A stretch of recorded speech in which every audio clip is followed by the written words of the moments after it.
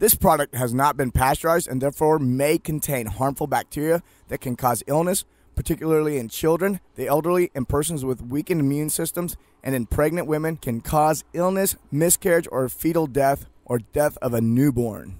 Jesus.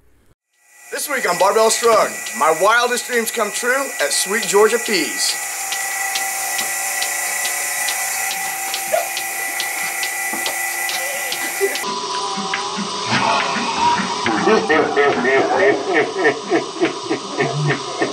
So good.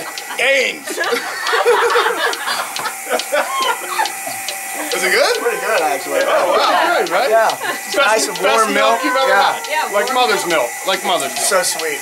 I like it. You have it all over you.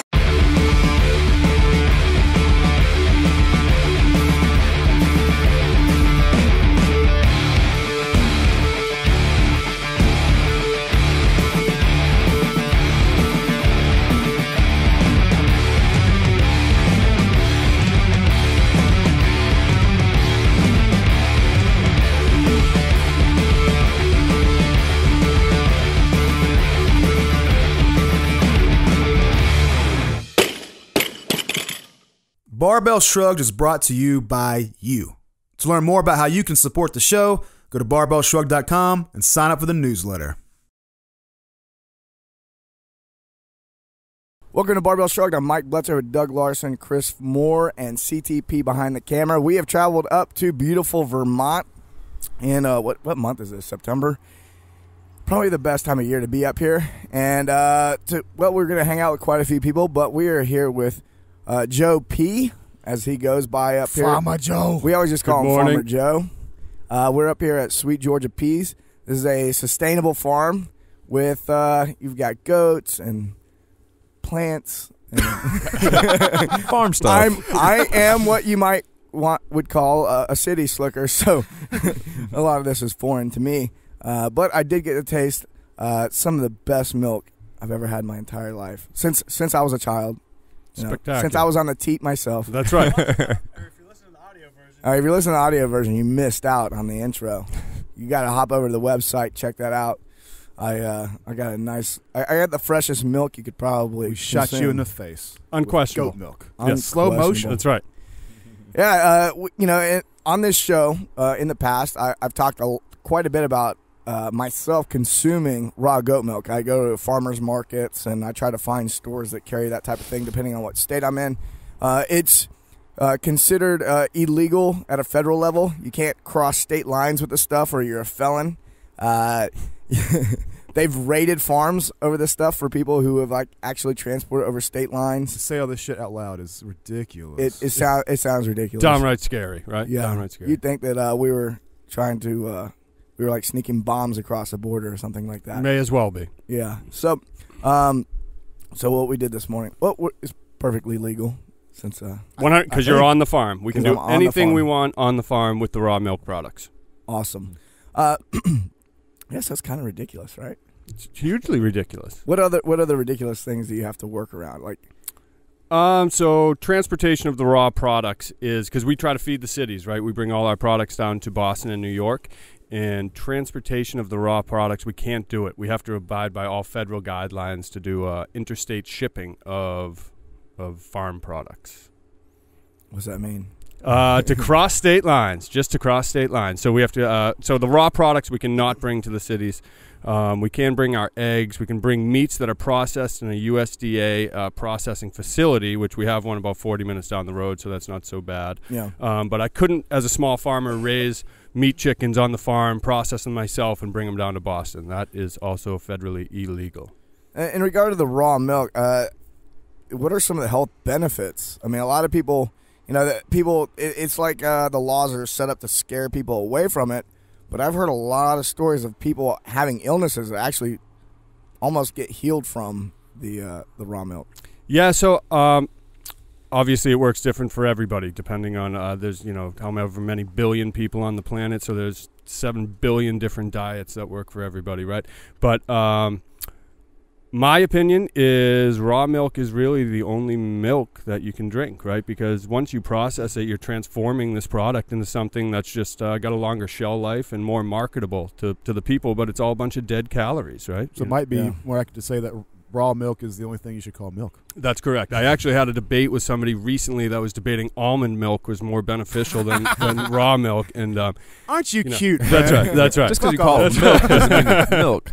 That's right. Just because it's white, conversation milky conversation is over. You want almonds, you eat almonds. I've never, milk, I've never milked milk. an almond in my life. like where? uh, Hey, where's asshole. the teat on this almond? I can't find it anywhere. If This is ridiculous. We make some kind of offensive. If you want an almond, eat an almond. Oh, drink real milk. Yeah, the, the problem right. the problem with most processed food is that it turns into a whole lot of calories and not a whole lot of nutrients. And so having raw milk is calories plus nutrients and, and healthy bacteria and, and a whole host of other things. Growth I'm, I'm certainly not an expert on it. Probacterias, right? Like everything. Yeah. So- Mhm. And then then pasteurized milk is really just calories and all that stuff's basically been killed in the pasteurized process. Basically means they heat treat it and all that stuff dies. That's is correct. that right? That's correct. Yes. I, I've, I mean, I don't know how much of it's true, but I've heard uh, some pretty crazy stories about the the lack of standards or lack of, I guess, the standards that uh, pasteurized milk is held to is is fairly low. and like, if you were to like expose raw milk to the same uh, environment that you you expose uh, pasteurized milk, it would be you like if you learned exactly what everything that happened, you would never want to drink milk from the store again. That's correct. Pasteurized. That's You'd why they like, have to Holy pasteurize it." shit! They have to pasteurize this, or else you would be poisoned to death. That's exactly right. So for the big companies to uh, to produce these foods, right, they have to pasteurize things because they need long shelf life. My milk lasts for like seven to ten days, you know. So it's virtually impossible to, to mass market it on like a huge scale, you know. Mm-hmm. That's what that's the whole local community farm thing. That's where we come into that. Yeah, you shipping your milk to somewhere like Arizona would be impossible. They would, I mean, you could probably FedEx it or whatever, but it would make more sense for them to get it from Arizona. From their own local raw Right. dairy. That's Yeah. right. That's right. Yeah. So I know you're not a biochemist, but but what really d- happens in this whole pasteurization process? Can do you know in detail kind of what happens there? Not really hugely versed on it because I don't do it, but Mhm. um, essentially it's heated to I believe about 170 degrees for a series of minutes, maybe 15ish. Um, So there and- goes your probiotics and everything. That's right. It kills all the, the potentially harmful bacteria, but it also kills all the good bacteria, all the good probiotics. You know? Is it fair to say with Denatures a lot of the enzymes as Hmm. well. Is that true? I don't know. You don't know about that one? I'm, No. I'm not sure, but that sounds like something that Yeah. potentially could happen. Yeah, I, I've heard that. Yeah. I mean, a lot of people who have, like, say, uh, they're lactose intolerant, a lot of times if they start drinking raw milk, they'll gain, it has the enzymes necessary for breaking down the lactose and other things like that. Sure, it makes a lot Yeah. of sense, right? Yeah. I mean, A, I'm not really, you know, I'm a terrible salesman, so I'm not totally sold that human beings should be drinking milk at anyways, you know what I mean? But if we are drinking milk, we should certainly be drinking raw milk and, Yeah, they, you know, not we're the only animals drinking milk a, as adults. Yeah, that's right, that's in my right. experience, Another uh, species, uh, another species milk. Yeah, but I think this is one of the areas of diet where you could say, "Oh, I don't do good with dairy." But my next question is, what kind of dairy are you not being good? Because when I have cheap dairy or this, that, and the other, I feel a certain way. When I have the highest qualities, if Mhm. I have a like, um, if you get a high quality goat kefir or something from a good source, even like Whole Foods, is still pretty good. It's so much better than like a kefir, the same kind of product just from a, a cow, or the same kind of product from a bigger brand that is more industrialized. You can just immediately get an immediate sense that one is superior to the other, and you Yeah. feel about an hour later you feel that way too. No doubt about it. And I think not only with dairy, but you could bring that into the realm with everything, right? Like, say, eggs, you could bring that into the realm Oh, with God. produce. I mean, freshness, the factor of freshness is absolutely gigantic. Do you think what most people need to understand is that an egg is not an egg, a milk is not a milk, uh, milk is not milk? Sorry, my grammar. It's early.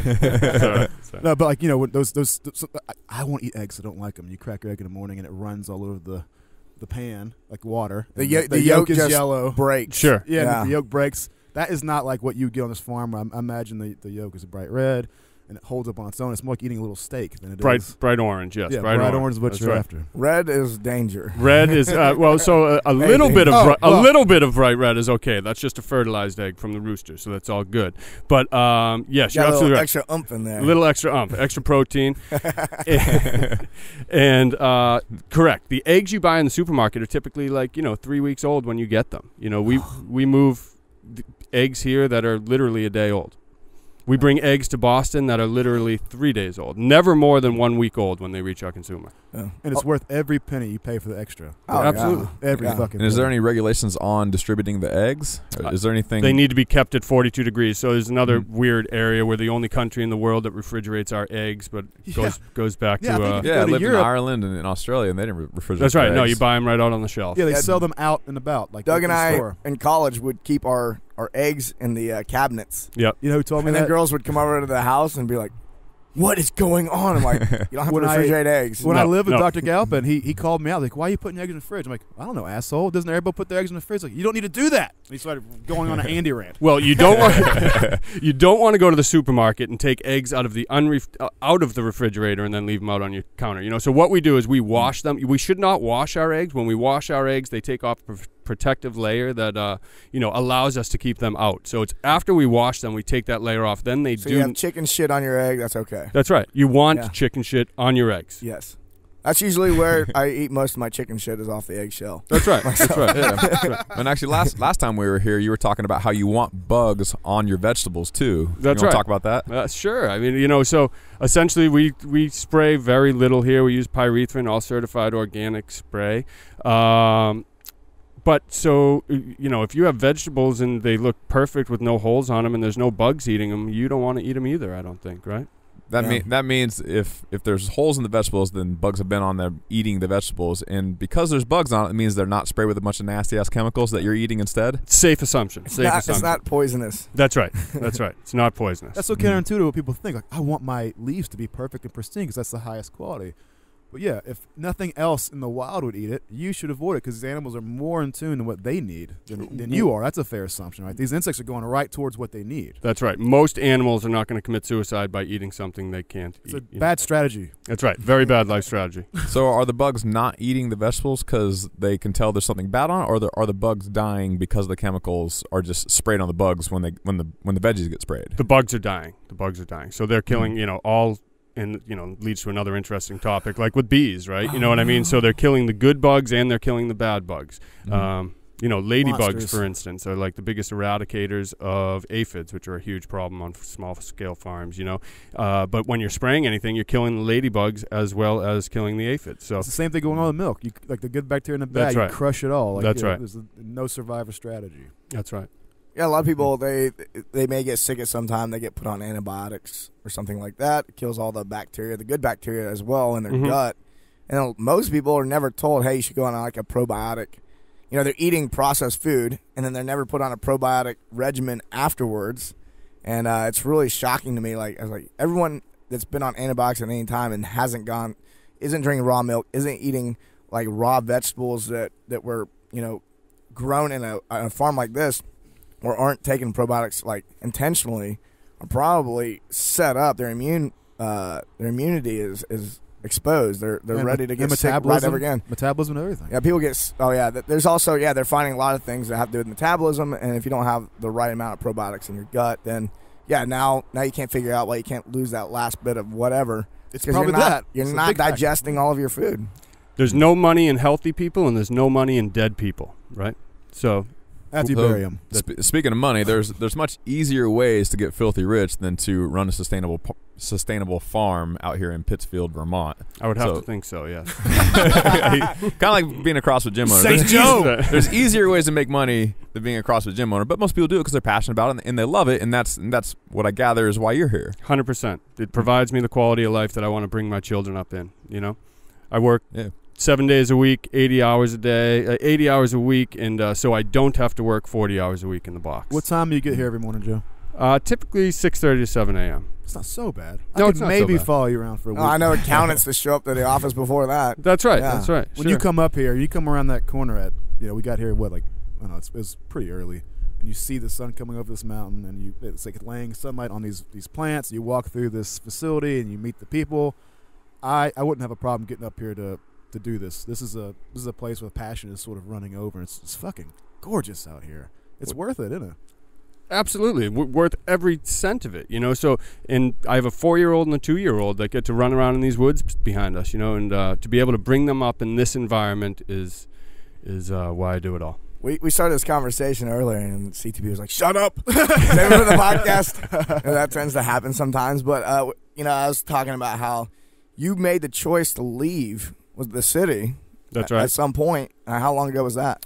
Uh, so my wife and I left the actual city eight years ago. We went to the suburbs of Boston, and we came up to Vermont. Even worse. The yeah, suburbs. suburb t- totally Yeah, the, the worst thing America has created. Apologies if you're right now. Hey, asshole! I'm in the suburbs of Boston. Sorry, man.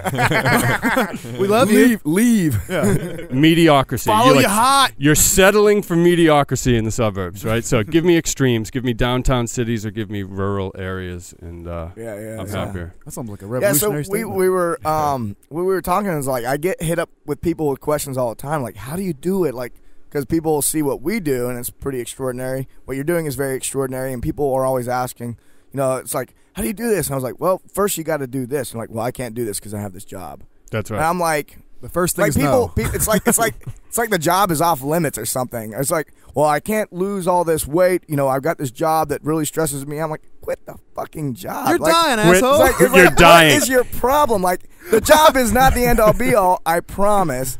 It's like, it, and it just drives me nuts. It's like it's about lifestyle, and your job is part of that lifestyle. And if that job does not serve your purpose, That's right. you got to get out of there. You're making choices every day you wake up. You're making choices, right? And Yeah. so, um, yes, you got to get out of there. That's the best advice we could give anybody: is get the hell out of the box. Yeah. Get So- out of the so box. Yes, everybody out. Out. I was gonna. What made it easier for you to make that leap? Like, how how did you make it past the that big blockade to actually come out here and do this instead of whatever you were doing before? Um, so we were looking to expand our farm business down in sou- southeastern Mass, and uh, it was virtually impossible. Uh, we met up with Joe and Courtney. We know Courtney from uh, a, a lifetime DeSena. ago. Yep, Joe DeSena. We met up with them, uh, asking them about life up in Vermont, and their farm here just so happened to be empty at the time. and then he sold you pretty hard. He, I so I heard uh, he makes convincing arguments. He's a very good salesman, very good salesman. And uh, we were here three days after the conversation started. We were here three days later, and we moved our entire operation three months after that. wow. Yeah, I mean the the possibilities here are just extraordinary. No regrets. No regrets. Oh my God, not even a little bit. So uh, how, how do you uh are you raising your kids? How old are they again? Four and two. Four and two. Yeah. So I mean, well, they're not school age yet. Uh, they are not school age yet. No. Yeah. Well, uh, it's controversial. My four-year-old probably should be, according to some people, uh, entering preschool right now, but uh, she's not. Because they're not get, they're not learning shit out here. Joe. No, no, no. I would definitely. We should put her under the fluorescent lights. Okay, we should put her under the fluorescent lights. Lock her in a box. No recess. Sit and, down, uh, shut up, be quiet. right. right. Make marks on paper. that's right. And then we'll bring her to Walmart afterwards. Yeah. Yeah. It's like sit still for eight hours. Can't Mm. can't figure out why so many children are obese in this country. I, I have no It's idea. a- oh, and and and you gotta you get was it my buddy? His uh, my buddy Rob. He's on our team. He uh, was it the school? water. The school. It's a private school too. Won't feed the kid water. They won't It has to drink milk because that's federal regulation. There's some like What? federal law that says they have to feed them this milk, He has to get a dead do- milk, Yeah, he has to get a probably doctor's note. skim milk. Right, right. Some Hood. It, it, actually, Hood milk. I'm assuming, right? Was hood milk. Hood uh, brand, the big dairy industry in America. Yeah, Right. some- you don't know. You don't know about that. I guess. Some some dairy lobbyists figured out how to get water out of the schools. So they, he's like, look, my kid's like four years old. Just just feed him water. He's like That's right. humans. and the- humans he drink has water. Get a do- he has to get a doctor's note. Are you serious? To get the kid fed water instead of milk at, at a meal. this is not. This is not fallacy. This is fucking happening. That's And it's probably outrageous. happening all over the. And this is in That's right. Tennessee. It's not like uh, New York City where people are insane. Right. But uh, now you've offended fucking all those people. well, the politicians there, we we know. I mean, Anybody else in large metropolitan areas you want to piss off exclude? well, Joe, I, I also have. I've got a now a, a little boy who's come up on three. He turns three next month. I've got a little girl now. Awesome. She's five months old. What do, what does the average parent who's like you know we because when last time Zach was here with us, his main concern is now something I'm echoing where I'm starting to get more and more freaked out that my fucking kids aren't getting anything out of the food. In fact, it may be actively poisoned by this. What what do kids need to under what what are some good guidelines that kids can can start learning? Something simple that can help them start understanding the role of food in their life. That's a tough question and a huge problem, obviously. Um, the easy, easiest way to put it is again, you're making choices. Everything you put in your body, you're either feeding disease or you're fighting it, right? And so we need to teach our kids that. You're either feeding disease, everything you're putting in your body, you're feeding disease or fighting it. And uh, that's probably the easiest most straightforward way to put it. I put think it. kids would understand the, the, the idea that you just don't eat because this is something you do and it makes your tummy feel satisfied. You are you're a machine, and then just like Daddy has to put fuel in his car, you know, That's you right. Have to, you have to fuel your body. And That's if you right. don't fuel it, like you remember that time that. That Uncle Mike forgot to get gas on the road trip like for the fifth time, and we ran out of gas. That's, that'll happen to your body. That's exactly right. All right, all right. It happened one body will time, run and now it's, we're up to five. Five times. Uh, by the way, so this sign that I read er, right at the beginning of the uh, podcast, uh, when you first brought this out, we were saying, "Hey, man, this would be a really great way to intro the show because it's really ridiculous. It's something They put so baby healthy. death on there twice. Well, three times. Like how many? How many? You can have a miscarriage or fetal death or death of a newborn. if, if you're not convinced that the government propaganda. is uh, using like fear tactics, That's a huge, Look at this hugely fucking popular. sign, man. That's right. I, eh, before anybody buys any raw goat's milk, I have to make sure that they read that sign. Federally regulated. Does that seem Oh, fair? man. What about Red Bull? What about? Uh, and I'm sorry. I'm sorry. I shouldn't probably. Yeah, no, go for it. No, that's the thing is, and and what you yeah. what you had said, what you had said is like this is the warning label that should be on Mountain Dew, That's right. not on raw milk or This Monster Energy ridiculous. drink, Right. you know, any of these drinks that are going to kill you, no doubt about it. Yes, raw milk may kill you; it's potential, anything, but you know, Mountain Dew Ninety-five percent of the stuff that's in the grocery store.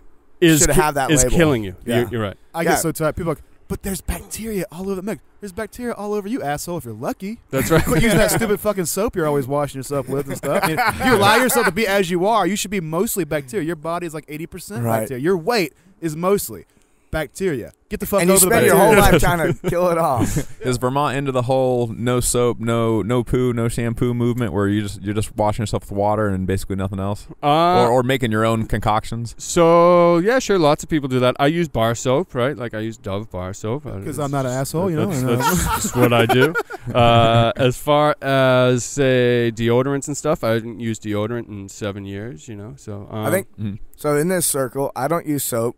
Doug doesn't use soap. Mm-mm. Chris, are you off No, the soap yet? Let me. I have switched to. I don't know if this is any better, but I got off of Amazon like a. It's like coconut and uh, palm oil and also seaweed soap. It's, it seems better in my mind. It's, it's, it seems like it's healthy. the I don't know. ingredient the ingredient li- list is certainly there for you. It's Yeah, only got, that's that's, all, right. that's all it's in it. It's like seaweed, coconut, and and palm Interesting. oil. Yeah, that's all it is. yeah, I I, don't, I don't use soap if I feel like there's a real need. If I'm fucking Right. covered in, ac- Oh, in yeah. actual like dirt or whatever, like where I can like see their stuff on me, then then I'll use soap. You know, but I- if I'm just sweaty from a workout, then I like to actually feel use- sexy. I That's u- me. actually keep that clean snatch soap um, on hand for like if I get tattooed. Like if I end up with, you know, if I have a wound or Mhm. or uh, yeah, Right. um, I did jujitsu if I and I'm grapple, covered. if Yeah, I grapple, That's I a good use It's like, soap. point. now I'm now it's like all right, time to kill this bacteria. but uh, outside of that, like I, I don't use soap at all. Uh, but yeah, just going you know further on the bacteria front because we're talking about like gut bacteria.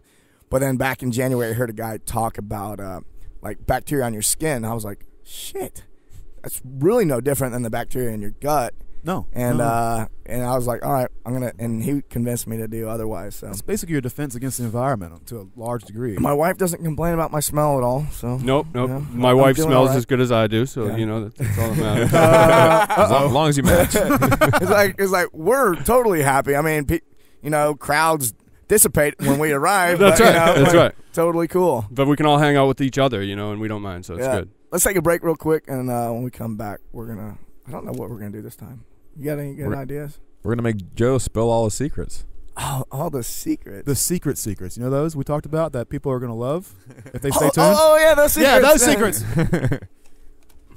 Welcome back to Technique WOD. Today we're talking about strengthening your rotator cuff so you can prevent injuries and be way stronger overhead.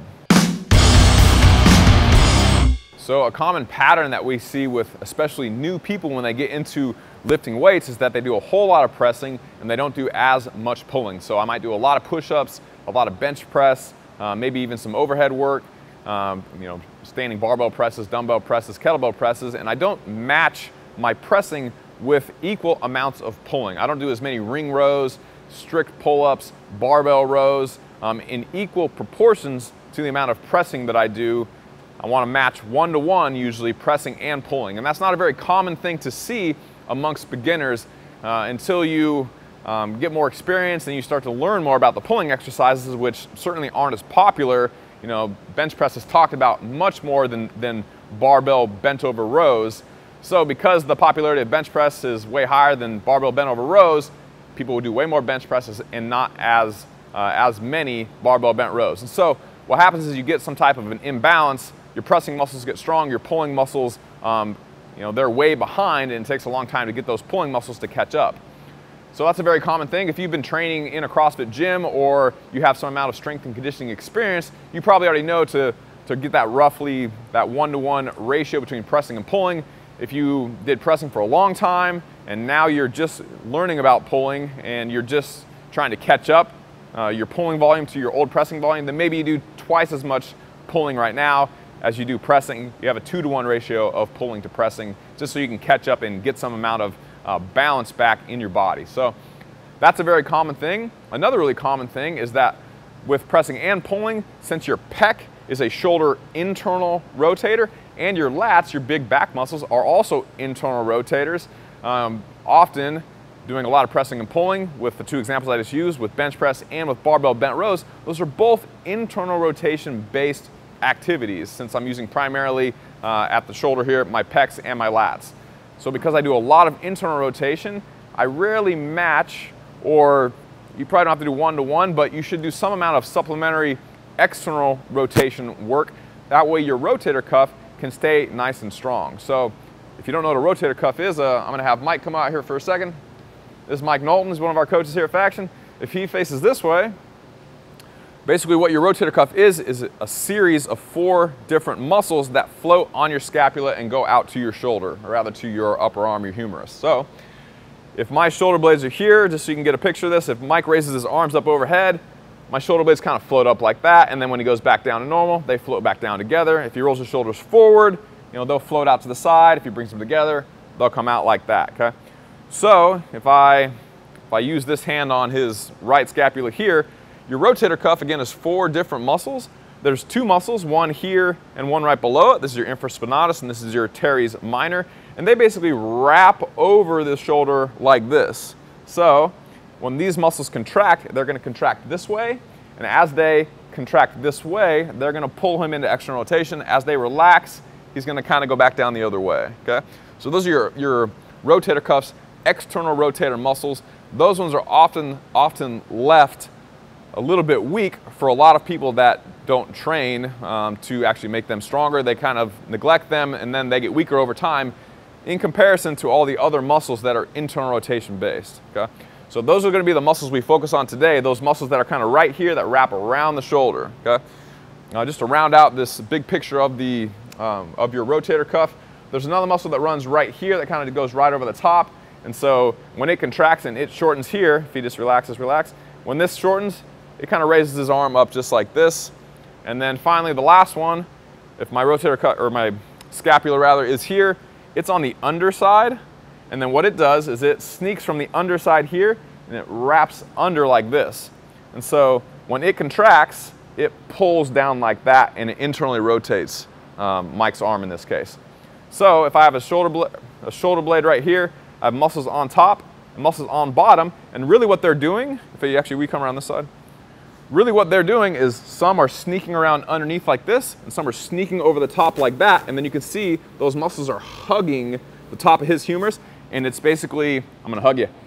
It's basically pulling the top of his arm into his shoulder like this. That way his, his upper arm and his, or his whole arm rather doesn't fall off of his shoulder blade.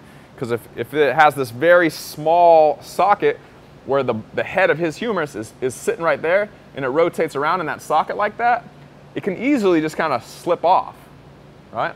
Because it's not, it's not wrapped around. There's no bone wrapped over this bone like in your hip. Like your hip's like this where like there's bone over your leg bone. But your shoulder's not like that at all. It's like, it's like a golf ball on a golf tee. Okay, it's not, it's not really in there. It's, must, it's muscles and ligaments and your joint capsule and tendons that are holding it on there and it easily can slip off if your rotator cuff um, isn't actively pulling um, and keeping it on your shoulder blade, okay? So that's kind of what your shoulder blade looks like. So again, for the rest of this technique WOD, we're gonna show you exercises to make these two muscles right on top that wrap over the top here that help pull you into external, into external rotation. We're gonna make those muscles stronger, that way you have more balance for your rotator cuff. All right, so here's a few exercises you can do um, either doing your warm up or probably at the end of your workouts. Uh, for the most part, you're not going to go to failure. You're just trying to get those muscles to, to activate, so to speak, and to get a little bit stronger, but fatiguing them 100% all the way to failure uh, generally is not that good of an idea because it's going to help you, or not, not help you, but rather cause you to lose some amount of stability in your shoulder. So maybe if you're about to take a couple days off, you can, you can go to failure, but for the most part, especially if you're going to work out you know, another time that day, if you're doing doubles, uh, or if you're going to some type of sports practice or whatnot, you don't want to have a totally 100% fatigued rotator cuff because it's going to it's going to make your shoulder unstable and it's going to make you more likely to get injured. So if you're going to go to failure, you need a big window of rest on the order of you know at least 24 hours, preferably more, uh, maybe up to 48 hours uh, if you're going to go all the way to failure. So for the most part, the exercises look like this. They're all face pull based. So a face pull is anytime you pull something towards your face like that. So if you have cool crossover symmetry bands, which are getting more popular now, you can just get some tension. Generally, we put them a little bit low, you know, waist height or knee height, and then you're basically pulling right up towards your face. Okay? Almost like you're going to this like bodybuilder double, double biceps position like this. So I'm not just pulling my elbows back like this because I'm internally rotated right now. This is externally rotated. This is internally rotated. So I'm not just pulling here, although there is one type of face pull. I want to make sure I pull my shoulder blades together and then I externally rotate, which means my hands go back as far as I can get them. Okay? So I'm pulling here. Again, I'm not here. I'm up like this. My elbows aren't way behind me where I'm like this.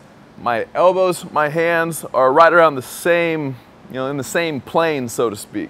So an easy way to see where that's gonna be.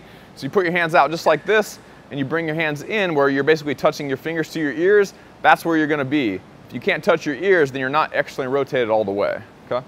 So it's an easy way to think about that. And there's there's many different variations you can do with the crossover symmetry bands. I'm not going to go over all of them though. This is the general idea. If you don't have crossover symmetry bands, what I like to do is just take, you know, take two bands, just tie one on totally normal, and then grab the other one and put it in there. Usually I kind of just shake it to get it to get it even. And then what I do is I put my thumb in like this, put my thumbs in like that, and then I grab around like this, and then same thing. I step back, shoulders together, hands come all the way back to my ears, and then I'm pulling like this.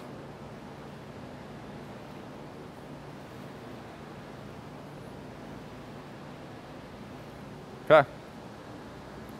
Uh, if you don't have any bands at all and you want to use um, small plates, you can just grab, you know, a two and a half or a five pound plate, and then basically you're, you're just going to bend over, you know, nice straight back, shoulders back, neutral spine, same thing. I'm just gonna pull the plates up to my ears just like this.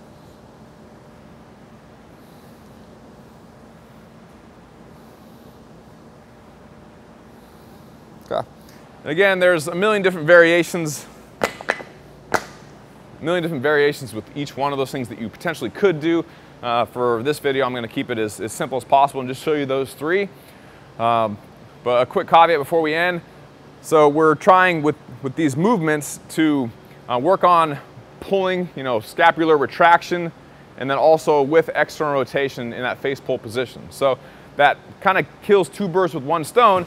It helps with your, your pulling strength and your, your scapular stability strength, and it also helps with your, your rotator cuff external rotation strength. So overall, it's gonna help make your shoulders healthier. You're gonna be less likely to get injured. You're gonna be stronger overhead or just stronger with your upper body in general, uh, especially you know, being on the rings in an unstable environment. Having a stronger rotator cuff makes you much more stable, excuse me, so when you're on the rings, you're less shaky and you're, you're very solid on the rings. Okay? That being said, your rotator cuff is not the only thing to consider if you have some type of shoulder injury uh, or if you're trying to get your shoulder stronger. For the most part, if we go from, from kind of core to periphery, starting with our spine, we always want to have Instead of a rounded over upper back, we want to get more thoracic extension by doing you know, extensions over a foam roller or over a barbell, some type of thoracic extension. And then from there, we want to work on having um, stable shoulder blades. That way, you know, when I reach overhead, my shoulder blades upwardly rotate all the way. usually the limiter with that is, is lower trap strength. Go Google that.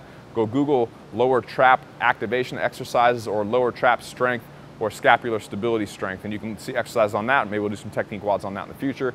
Uh, and then on top of that, you wanna make sure that you have adequate mobility at your actual shoulder joint. Do you have all the shoulder flexion you need overhead? Do you have full external rotation? Do you have full internal rotation? You know, can you, can you reach up can you reach up and you know touch your opposite uh, your opposite shoulder blade? Things like that. So there's all kinds of assessments for um, getting or having and testing to see if you have enough mobility in your shoulders and the whole rest of your body. Uh, certainly we have maximum mobility, which is designed to do that exact thing. So if you want to test your mobility, you're welcome to look into maximum mobility.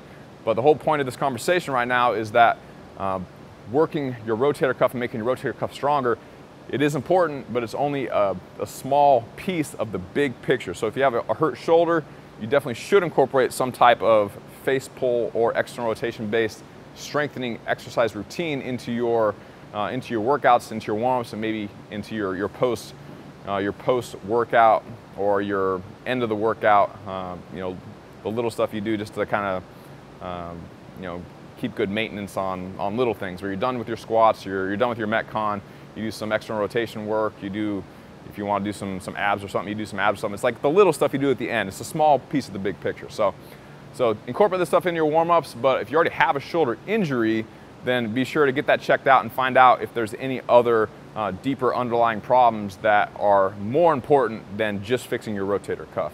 So uh, if you want more videos like this one, you can go to barbellshrugged.com, uh, click on Technique WOD. Uh, if you go to the episodes tab at the top of the page, there'll be Technique WOD uh, in the drop-down menu. Uh, click on that. All the episodes are in the library. If you want us to do a cool technique WOD on something that we haven't done one yet, um, click on Ask a Question, which is in the top right corner of the website. And there, uh, one of those questions is what technique WOD, what technique WODs would you like to see in the future? And uh, if we like what you have to say, then maybe we can do a technique WOD on exactly what you want in the future. I'll see you another day. And we're back with Joe P, aka Joe the Farmer. Uh, we're up here talking about sustainable farming, uh, things you should know about the food you're eating. The evils of government propaganda. Fuck them. Yes. well said. as as things become more transparent, people's eyes are being opened, uh, and that's one of the things we're trying to do here. It's great. Uh, we want to talk about CSAs. Well, two things. Uh, we'll talk about CSAs because that's how people can get involved and how they can get a hold of these types of foods. Can you inform us, tell us about CSAs and how people can get started? Okay, yeah. So uh, CSA is community supported agriculture. Uh, find the local farm in your area, the local CSA farm in your area, and sign up for a 20 week program. They probably do. That's what we do. Some farms do 10 weeks, some farms do whole year long programs, depending on where you're at. And it is a guaranteed way for you to get their produce and their meats and their eggs delivered directly to you. Or you may have to go and pick it up at a farm stand you know in your town. But that is the most important thing we can do be buying from small farms all across america and maybe we will change things around. A lot of times they'll deliver straight to a crossfit gym. We, we've had that in the past Yeah, where, that's where right. we would the like saturday morning they would come with a big delivery with a bunch of coolers and they would just drop it off at our gym and people would just come train pick it up people that didn't train at our gym they could come pick it up there too it's exactly what we do we It's not expensive. mountain strength mm. crossfit Well, in I was winchester say that. yeah yeah, yeah. okay So what do you what do you say to people who are like, I would lo- I, I don't have the money for this, Joe. I can't afford to have that CSA thing brought to the gym every week. Let's see it. What is that, like is cheaper than Whole Foods. First I- off, No, My- but people. This is what people say. This is what fucking people say about it. It's That one hundred percent. You're you're absolutely right. Uh, so if you broke down most CSA shares, they will be cheaper than going to Whole Foods or anywhere, any grocery store, and buying produce. Uh, unless, of course, you're buying the completely terrible produce. Then you you, you know you might be if you're buying get bottom of the barrel at Walmart. That's you right. Might you're gonna might sit- get away with a little bit cheaper food. However, what you're eating isn't going to do anything for you. That's So exactly That's right. point one. It's not too expensive. Just do the math yourself. And point two would be, if you're somebody who's interested in performance and you're looking for ways to do it, and you currently have a shelf full of fucking bullshit and bottles and jugs and, and all this powdered shit, like I'm talking about supplements, until you put your money, I'm I'm I'm, I'm oh, saying, go for it, Until yeah. you fucking put your money in real food in places like this, until you eat this and understand the kind of benefit that has to your physiology and your fucking emotional well being and your performance and everything. Until you do that, take the money out of your fucking cabinet and put it in the pocket of somebody like Joe, and that can make you fucking feel better. That's what I would say to you. Right. Try So- it for one fucking cycle. Do it. See how good you feel. So you guys are in the middle of Vermont, Sorry. in Pittsfield, Vermont. Max f bombs in, in one minute. Yeah, right. I'm fired up, Joe. I, I love it. I love it. Joe doesn't carry from Boston. That's right. Fuck it. So be, be, because you guys deliver because you guys deliver real food and it has a short shelf life because it's real food. Yes. Um, you probably can't deliver all over the world. You have to deliver to a, a semi-local area. The whole local farming movement That's right. delivers to the local area. So, how far do you guys deliver outside of Pittsfield? So we uh, we last winter found ourselves uh, asking ourselves a big question: What actually is local? Right, that's the big problem. And the congressional definition of local is 400 miles. So we created this Mm. graphic, uh, which we are basically at the hub of, and drew a circle. And so none of so we also partner with other farms, right? Like we bring other farm stuff down into the cities as well. So none of any of the food that we delivers travels over 400 miles, but Mm. and most of it really travels like 150 miles. So, if someone just got on Google and they they googled Pittsfield and it was less than 400 miles, then more than likely you can help them out. Uh yes, one hundred percent. Uh, as long as they have a group of people, and you know, it's really Mm. hard for us to say one person. Yeah, I can deliver Right. this, and it's hundred miles away from everybody else. So Mhm. typically, what we try to do is groups of ten to twenty people. You know, and you mentioned CrossFit gyms, like we partnered with a couple of them in Mass. Mhm. Uh, CrossFit Magnitude in Pembroke and Mountain up, Strength CrossFit in Cheers. Winchester. Yeah, Nice. and we literally pull up there. Uh, we'll be there tomorrow, and we pull up there with coolers in our refrigerator truck and drop off a bunch of food. And after your Oh. workout, you We're- bring it right home. We're gonna you. have to come do a delivery with you one day. Let's. Yeah, it'd be great, yeah, man. we'll, we'll come back great. probably six months from now. we wear our delivery And outfits. I'm in Vermont every six months now. And, Okay. uh, we'll we'll, uh, we'll we'll schedule it to where we'll, we'll uh, do the drop that guy with the beard right. from that thing brought us our food this morning. and and that's not a pain in the ass for the gym owner. It's not like you're charging the gym owner to like make that drop off location. No, we give like the that. gym owners free food to, for letting us drop the food there. hey, to be honest, my CSA didn't do that. well, hey, for all you cro- all you CrossFitters in the Boston area, we give you free food if we can drop off at your gym. Do you need any Oh, other? Shit, do you that's a need selling point right No, there. that's man. good, right? Because That's most gym owners are poor. That's right, and, and most farmers too. All right. Sign up, folks. Yeah, so that's two parts too. Like, so we were talking about like more than likely you do have money to buy good healthy food. When I was in college, my grocery bill when I told people what it was, they were like, "What?" It's like it's like it's like or you know, and when I was first starting the gym, it was like I only make X amount of dollars. I was spending close to fifty percent of my income on Sure. my food because that's how much I value because it's a lifetime value thing. Like you're gonna live longer, healthier. You're Have you less likely pri- to have you cancer. priced cancer lately? Right, That's yeah. that's the big pretty question. Have you priced cancer lately? Or if you're a college student, how much money every week is going towards beer? Yeah, That's it's right. like it's like dude. yeah, the the kids who are like, oh yeah, you know, they spend two hundred bucks a month on supplements, and then they have two to three hundred dollars in bar tabs, And go, and they can't me." Afford healthy food. That's it's right. like, I go, oh, and you're typing your History 101 paper on a fucking three thousand dollar new laptop. I think you got money for food. Don't be a dick. Yes. Well, the other thing too, on, on the money side of things, is the things you spend money on are what decides what happens in the world.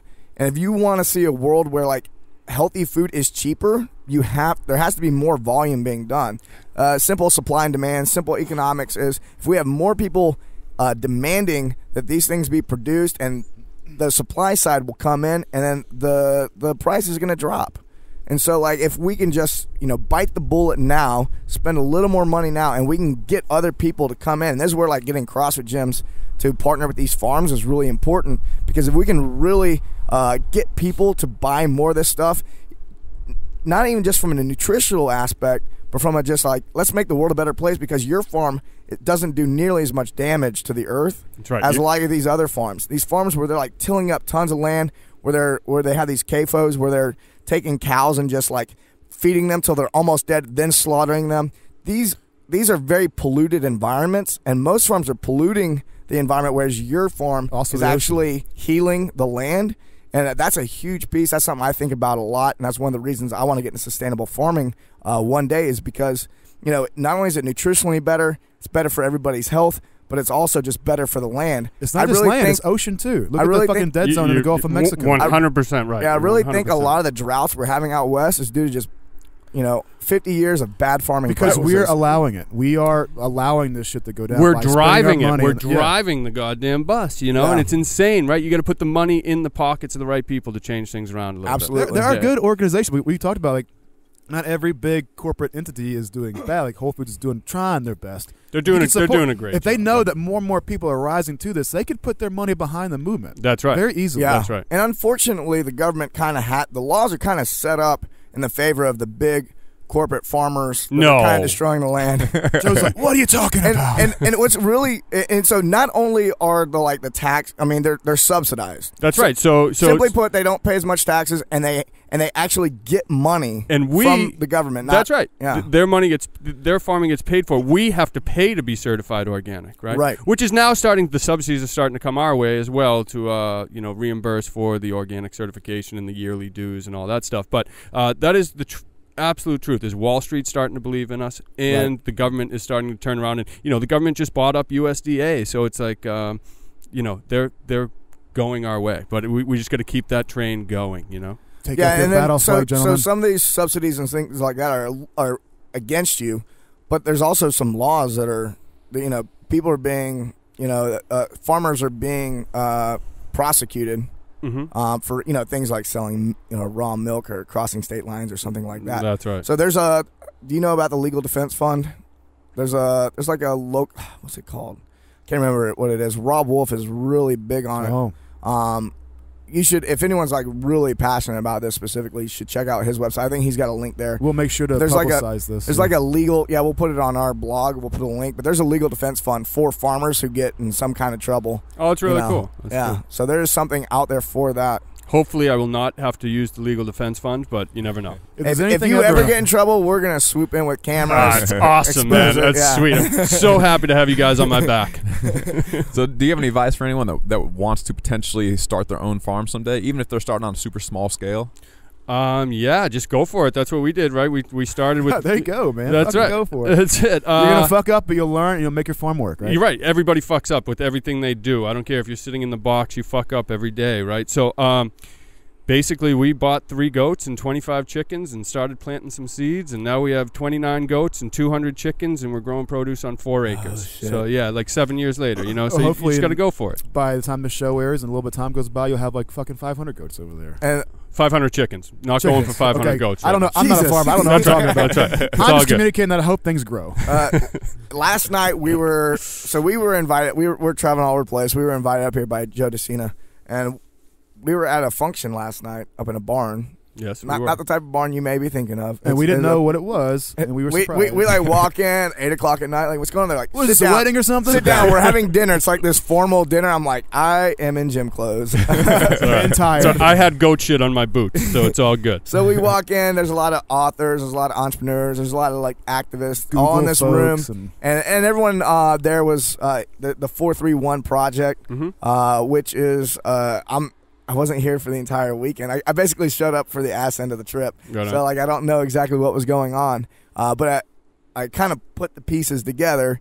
Uh, it's about solving the child obesity problem, Obesity and, people- diabetes, yes. keeping kids off the couch, get them out doing physical activity. That's right. I think one of the large taglines is that for uh, the first time in human history, our children's life expectancy is less than ours. That is that's just not acceptable. Man. That's not acceptable. that's bro. fucking bull. Yeah, that's right. That doesn't jostle you into action. What does? That's right. Yeah, and, and so uh, what's the website? Is it just four three one project? 431project.com, I believe. Okay. Yeah, we'll uh, we'll also post that to yeah, the website. absolutely. Yeah, there's a lot of people hitting it from a lot of different angles. There's authors there. There's uh, guys like Ben Greenfield who we've had on a podcast before.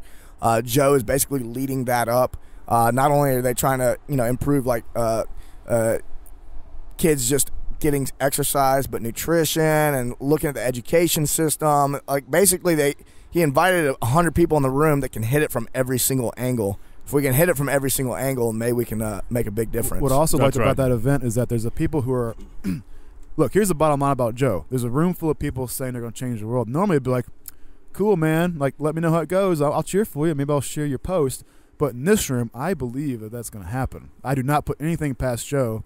And then also in that room were stories of how it can happen. Like that, my highlight was that guy got up, normal looking guy, looks like a normal CrossFit, a little muscular, bald guy. You know the one I'm talking about. He gets up and tells a story. I go, oh yeah, he seems like he's really like really passionate about whatever he's going to say. And he goes, yeah, I just want to say that I used to be 500 pounds, and I'm, I'm 500 he used to be 500 pounds. Now he's probably he looks like he's 225, two two maybe he's He's 240. 230. I talked to him last night. 230. So Yeah. he's down from 500. And he just said, "Look, I I want to say thank you because I'm living proof of what kind of change you can make if you just listen to these simplest things. Your whole life can just be totally revolutionized. Yeah. That's right. It's Yeah. Totally revolutionized, totally better. You're not, you know, you can feel so much better. You know, it's it's so simple, yet we are taught not to do it, to live the other way. I don't I don't understand. Well, everyone exactly everyone wants a complex That's right. solution to it, what Right. they perceive as a complex problem. Listen, Yeah. get outside, eat real food, and you will live a longer, healthier life. And you'll also be stronger and Boom. That's faster right, and right. Uh, happier and very simple. sexier. No- knowledge bomb drop. Very simple. Yeah. So for kids that, that really don't understand that they're going to you know be obese and become diabetic and, and get some type of long term chronic disease that's going to be you know digging themselves into a very deep hole it's hard to get out of. How do you how do you get them to understand the importance of, of exercising and, and, and eating well? And I know you're not like an expert on kids kids fitness, nutrition, whatever, but but do you have any any perspective on that? Having kids yourself and working with Joe on this four three one project? Yeah, so I mean, the best advice I can give is find other. Uh, so it starts with the parents, obviously, right? And um, you need to put your kids in the right environment, like, and that's Mhm. exactly what I've done. So, um, you know, it's really hard for for these inner city kids that they're given zero options, and their parents, you know, don't educate them otherwise. You know, they Mhm. are legitimately going and eating Burger King, you know, five This is- times a week. If you know, Burger King is in front of you, if Burger King's in front of me, and that's the only food available, that's right. I'm gonna eat it. You gotta and, eat- and I you- you totally have know to eat better. But Right. there's food there, and I'm hungry, That's right. and it just happens, That's right? right. So I, I'm glad you said that because I, I really think that's the solution from my perspective is putting them in the right environment where making the right choice is the only choice. One hundred percent. Couldn't Because agree if the wrong choice is available, it's gonna happen. That's right. I agree. And most people are going to go with the wrong choice every time. Like Joe De Sena says, you know, he always takes the harder route. If he's got two choices, right, he picks the harder one because he knows that has to be the right one. And And uh, we're- that- he does it. He does it. that's okay? We're not hundred fucking percent. lying. No, He does it. one hundred percent. And um, and you know, so that's kind of if you're given the two choices, if you're given the Burger King or the salad, the kid's going to take the Burger King every time, right? You know, so Yeah. yeah, let's out it. Yeah, the Yeah. kid's not gonna regulate himself. Uh, no, one hundred or percent herself. CTP has something to say. I was gonna say, and on that note, you gotta, you know, big couch is gonna hate me, but if you can't, if you can't have the foods in the pantry that are gonna make you fat, you can't have the couch. So let's get rid of the couches, right? Yeah, Actually, uh, Big couch. I was thinking about. A big cow. You talking about like a couch in your living room? no, like like like big pharma, like big couch, like the couch industry. Big agra, right? So Yeah, yeah, big so- agriculture. sorry, Jordan. Conspiracy to keep you big, big couch. Not big bean bags though. We all need big bean bags. Oh, Let's yeah, not get crazy. can't- That's yeah, that'd be insane. we, we need big bean bags, oh man, my my favorite piece of furniture. Yeah, no doubt. no doubt about it. All right, and, and so we're we're hanging out up in the barn. We're talking about uh, figuring out how to solve this problem, and then you and I are hanging back having a drink.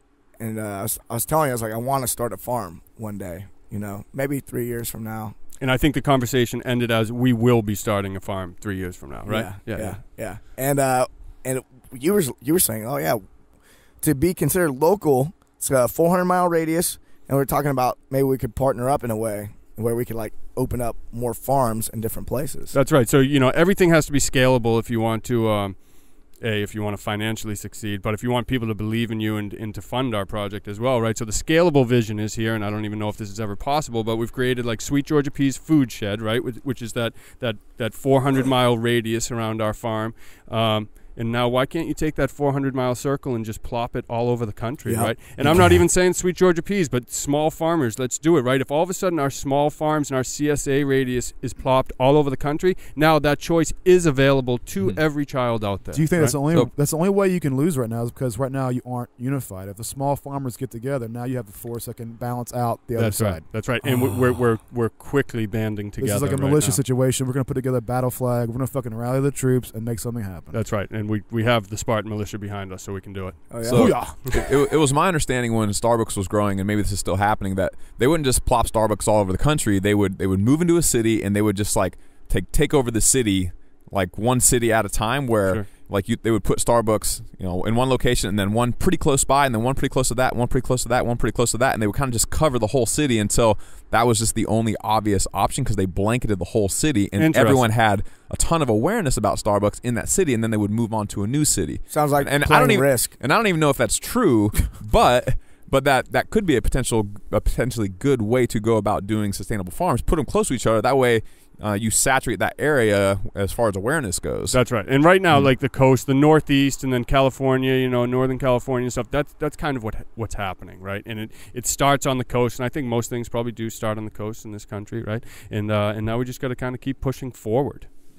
Yeah, yeah, things do seem to start on the coast and kind of move in. that's right. Yeah, What about cows? I know you have goats and chickens, and you do a, a variety of vegetables and whatnot. days. We, uh, we, we have Angus cows, four Angus cows up on the uh, up on the hillside. Happy there. They're actually they look very happy up they there. are. That's right. They couldn't Until have a that better one life. fateful day. One bad day, man. One bad day. What are day. you doing, That's Joe? It. That's right.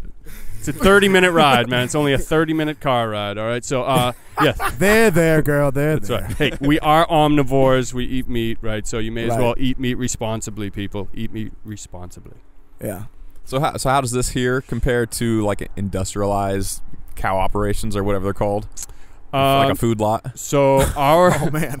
I can't. I, One is a, a hell on rather. earth, and the other one is a farm. that's right. That's right. One is a disgusting pile of rubble. Um. So have you been to like a like a Colorado big like I have crazy never. No, feedlot? Nope. I've never toured one. Uh, don't go. I, I've driven I by wanna them. go. All you gotta do is like I just crossed the country. Yep. Uh, by truck and pulling my trailer behind me, and uh, I forget which state we were in, but yeah, we we drove by something that was obviously one of those CAFO operations where they just and basically what happens is a lot of uh cattle are raised on farming on grass or whatever, and that's how they live most of their life. And then the last five months of their life, they're shipped. They get all put in a truck. They get shipped to this something called a CAFO. And what they do is they just fatten them up with grains. They give them the food that makes you fat. So if you eat grains, you get fatter. Cows eat Sometimes grains, they use candy. fatter.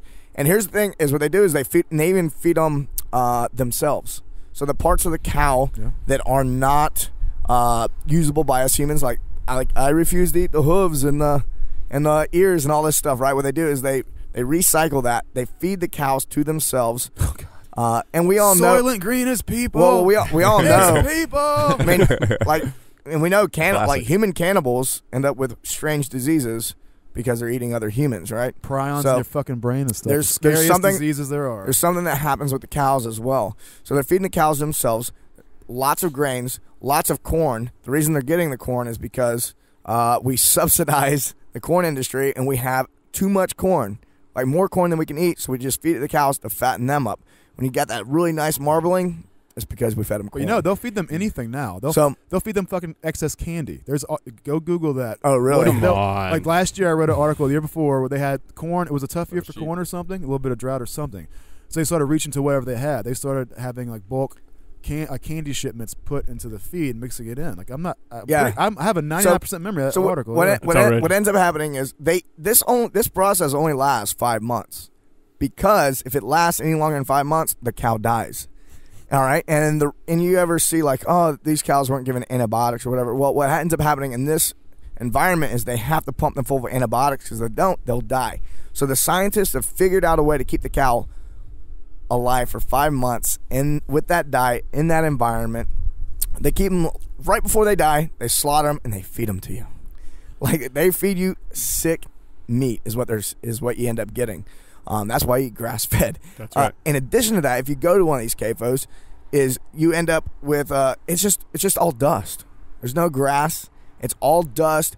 There's a lot of runoff. There's a lot of uh, pollution runoff. cesspools. Yeah, and it is nasty. So anytime you're anytime you're not um, and uh, Joel Salatin talks about this. I don't know if you're familiar with him. He does a lot of sustainable farming uh, education, but it talks about like uh, anytime you're farming just one thing, there's usually you have to ship a lot of stuff in, and then it creates a lot of pollution and it just kind of drains off. That's right. You're mining. You're not farming at that point. Right. You're mining, and it's not Yeah. a mining operation. I was about to say that, right? Like, so cows really aren't our big thing, but we do the Mhm. beef Angus because they're preparing our fields for growing produce now, Mhm. right? So they're the whole permaculture design type of It's a part of like the larger ecosystem that That's keeps right. the farm running. That's yeah, right. You're, So those you're running cows. an ecosystem that- here. that's Yeah. exactly right. Yeah. That's exactly right. So to do the sustainable farming, small scale, it's running an ecosystem. I think if you understand what you're being served now, like it, there's a time where you, you can't you can no longer just like pretend that steak that is pale red and fatty. You can't pretend that you don't know where that shit's coming from. I think every individual you got a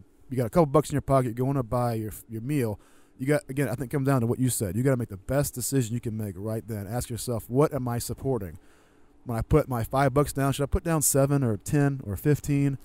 I think that's even kind of a myth, right? Like I think if you really start paying attention to it, to it, you're not going to be paying that much more Mm. for eating the right way. You actually would probably be pretty surprised because you're not buying that four dollar monster drink, right? You're dr- drinking a glass of Yeah. tap water instead, right? So Yeah. if you make these decisions, I really think at the end of the year you'd be all right. On a weekly basis, you're still drinking the monster. You're buying the, you know, and then you're buying Yeah, the and, produce. and you buy the grass. That's right. Steak, So, then you're in so, so right? then, yeah, exactly. But it, so if you're supplementing with this stuff, then you're going to be spending more money. But if you actually switch your diet to the real, you know, eating real food primarily, um, I think you're going to be awesome. really, we really go back, shocked. We go back to the lifestyle thing. That's right. You know, people always want to just dip their toe in being healthy. Right. It's like no. And they'll do it for a week. You They'll gotta- do it for a week. You got to go get- all in. You got to train. get frustrated. You got to train. You got to change your lifestyle. How come I'm not Yeah. healthy? Then they get frustrated, Yeah. or strong, or performing better. How come this, that, and the other? Especially if you start counting all the money you spend by just eating out. Yeah, Like absolutely. if you oh, include that as part of your grocery bill, Right. then oh, if you didn't eat out anymore and you just ate, you know, healthy meat and vegetables and um, and maybe some fruits, nuts, seeds, that that whole deal, and you weren't buying any more processed food, you weren't buying any more alcohol or beer, and you weren't eating out, and you didn't have a bar tab, kind of like we said earlier, then it's not that crazy expensive. You would probably save Oh, money. and That's right. back in the day, I did a budget, and I found out that I was spending more money on eating out than I was on groceries. Oh But yeah, the majority that's of- common. But the majority Uh, of my meals were at home. I'm like, oh, Yeah, Okay. Right. when you do, you Economics sit down and do 101. math- yeah, yeah, yeah. and at a restaurant they're probably serving Hey, you the cow I'm that a you don't want to eat. I'm a slow learner, folks, but I've learned there's a lot of other slow learners out there, so I'm here to help you. Form a militia of slow learners. it took, you- took you a long time to learn. There was a lot of slow learners, proving you were a slow learner. At the age of 32, I've learned there's a lot of dummies like me. I've learned that. Um, what?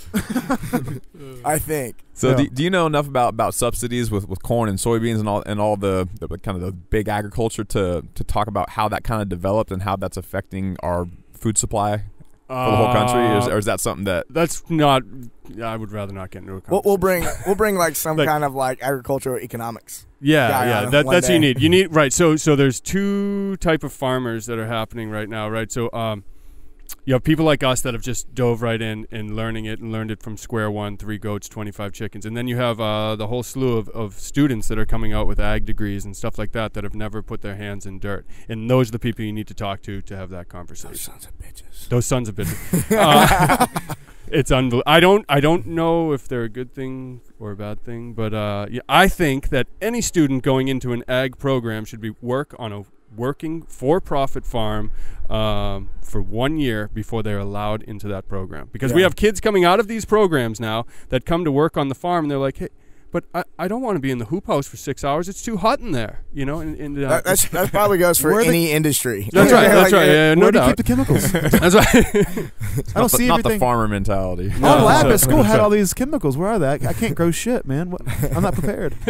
Uh, I have eighty thousand dollars student loan debt. What am I going to do? all right, let's wrap this up. Joe, if they want to find out more about your operation, where do they go? Uh, sweetgeorgiap.com. So uh, it's just the letter P at the end, and you can find us on Facebook, Instagram, Twitter, all that good stuff. Follow these good and, people. and that's the, you know that's the biggest thing, and to you know spread the small farming movement throughout the United States. Right, we just need the power of the social media and the help of you guys, and uh, it's really cool. I'm so happy to have you visiting the farm. Are there any other websites that you're familiar with that maybe like people can find uh, their local farm? Yeah, so I know the one in Vermont in the Northeast is Northeast Organic Farming Association, so NOFA.com. Uh, Vermont Organic Farmers is another site, and there you could, I guarantee they have Yeah. links all over the country uh, to find your small farms. You know, in, in the cities they have, uh, like New York has Just Food, um, and they're the, they're kind of the intermediaries bringing all the CSAs down into New York.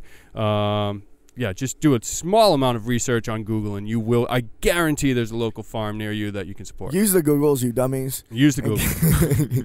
You'll figure it Black out. said the pot. if you can't, if Google can't help you, nobody can. All right, make sure you go to barbellshrugged.com, sign up for the newsletter, and we'll send you all the information that you can't find on Google. Thanks, Joe. To learn more about how you can support the show, go to barbellshrugged.com and sign up for the newsletter.